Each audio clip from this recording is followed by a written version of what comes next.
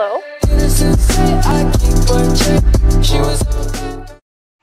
Hey guys, dito kami sa Better Latte kasi in-invite ako sa Miss try natin yung coffee nila and then meron dito cookies and um, crinkles. So we're gonna try that. Naka-open lang nila. Um, lalagay ko yung address sa description box below, okay?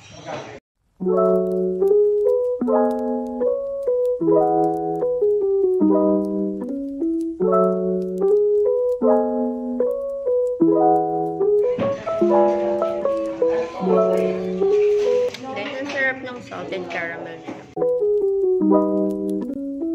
Favorite ko talaga yung crinkles. Tapos, hindi ko siya rin yung cookie. Yan. Yun talaga yung laging snack namin.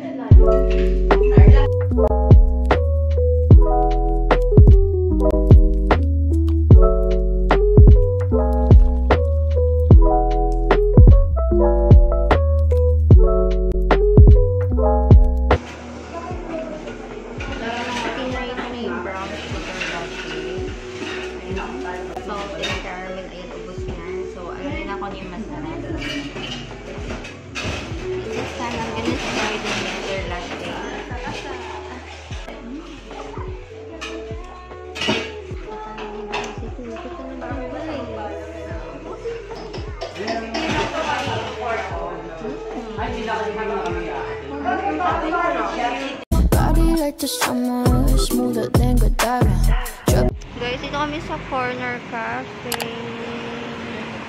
Ha? Yeah. Tagal ko na gusto pumunta dito, guys.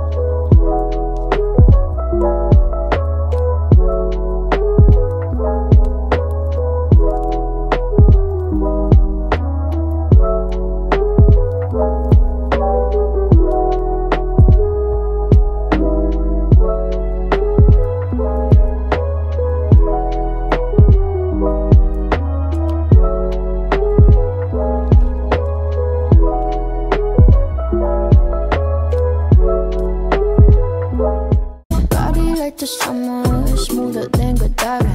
Drop Dito kami sa head office ng Mr. Daco Peño. Nagkita ulit kami ni Mami.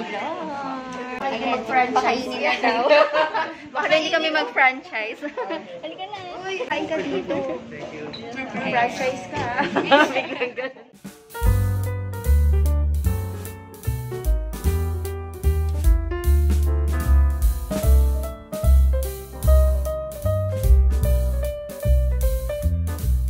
Kumain dito? Mami Lar, ano pinaka-favorite mo?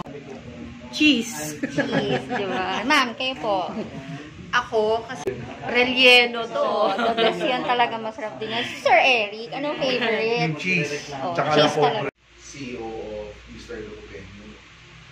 So, yung company, right now, we are five years na po yung company.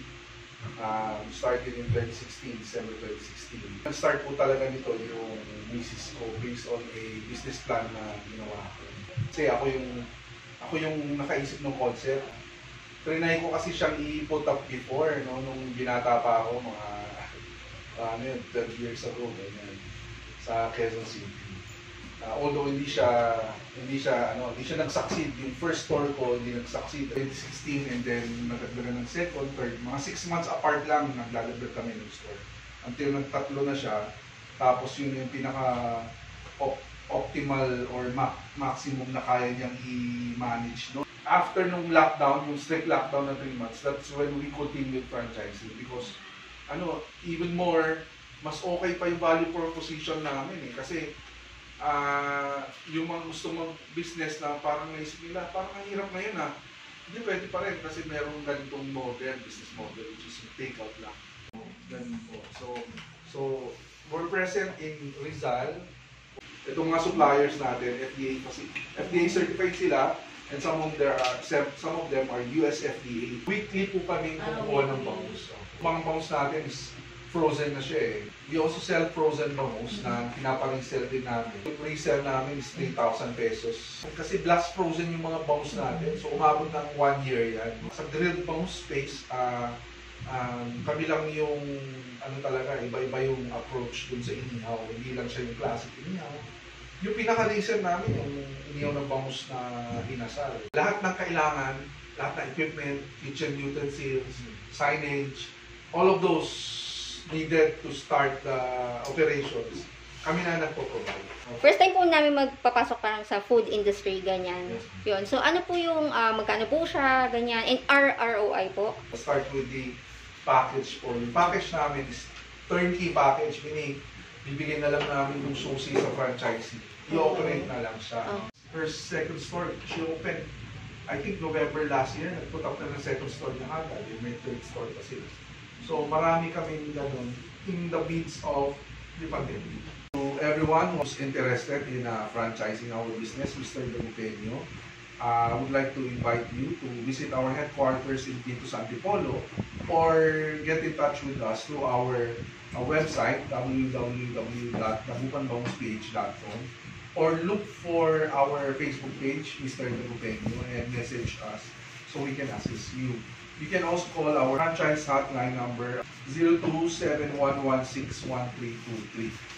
Ayun, so maraming salamat. Kain tayo, guys. Tagal na, tagal na namin din nakakapunta dito. Ilang years? Three. Three years. Grabe. Kain na, itadakimasu. After mat, guys.